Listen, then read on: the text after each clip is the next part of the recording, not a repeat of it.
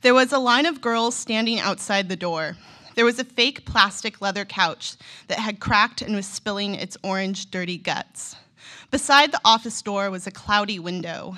Inside the office, one could see a parrot chained to a bird stand made from what looked like ocean driftwood, but was clearly from Petco or some other kind of place. The bird had a tiny, thin black chain around its ankle. It seemed more delicate and humane somehow than I guess what would have been a more bulkier alternative bird chain, but in truth, I had never really seen one before, come to think of it, so I suppose the chain might have been the normal size. I held my resume close in sweaty fingers and pulled my latex skirt down. No one was sitting on the couch because no one wanted to lose their spot in line. I mean, that's why I wasn't sitting, at least. Soon enough, though, the line had shortened, or I had just made it to the front, and they were calling my name. I looked up from where I'd been looking down at the orange pilled up rug and was surprised to see that I was next.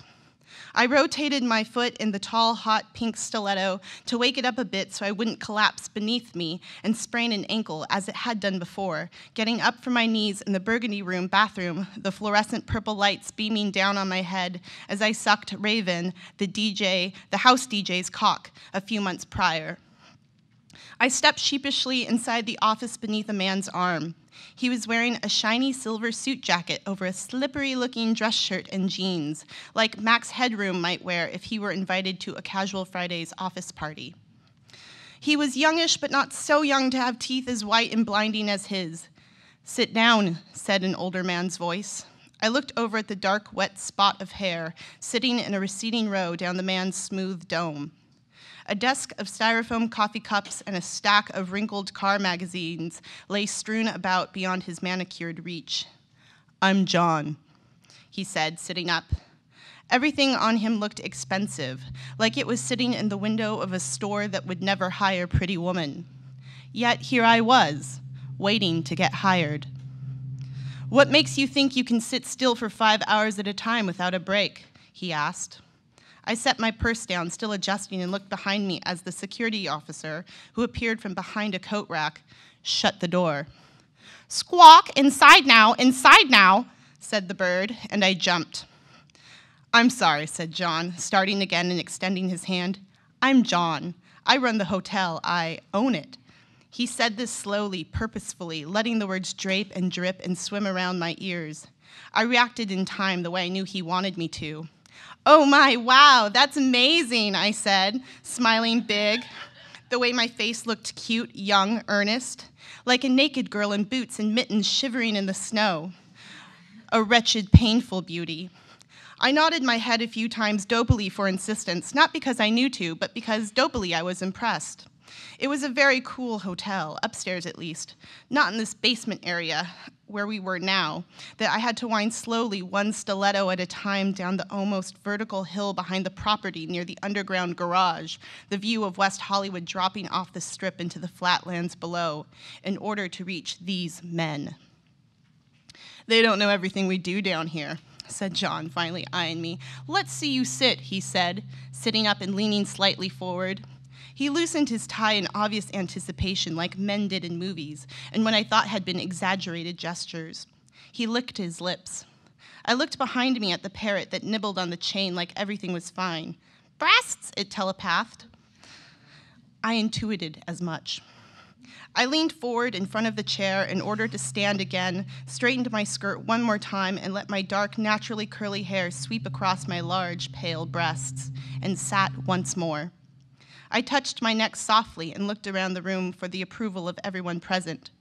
The parrot nibbled, and I knew I had done good. well, everyone here can see that clearly you are very talented. So I ask again. Oh, what's this? asked John, stopping himself as I nudged the sweaty resume in his direction. It was imperative that he take it.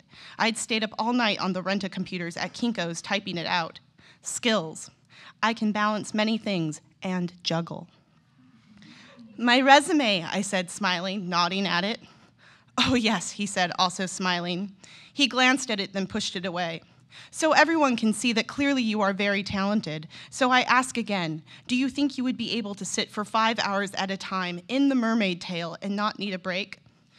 Remember, You can lay flat and propped up on your elbows. Some girls like to read or do their homework, or lay sideways, but not all the way up, upright, I mean. We don't want you to bump your head, he said, laughing, looking at the security guard and the other white toothed man. You can do almost any other thing, you'll find, almost as if you were able or could sit up. You get used to it too, of course. Have you sat in the box? I asked, wide eyed, placid, and comatose sounding. Oh no, I don't fit, obviously, he said, laughing. And why would I? No one wants to see me in a box. You, however, that's a different story. Who wouldn't want to look at you in a mermaid tail, reclining comfortably in a glass box? Um, why, you would be the centerpiece of the lobby. Could we, would you feel comfortable, I mean, trying on the tail? Just so we could take some Polaroids. No, of course not. I mean, yes, of course I can. I mean, I don't mind.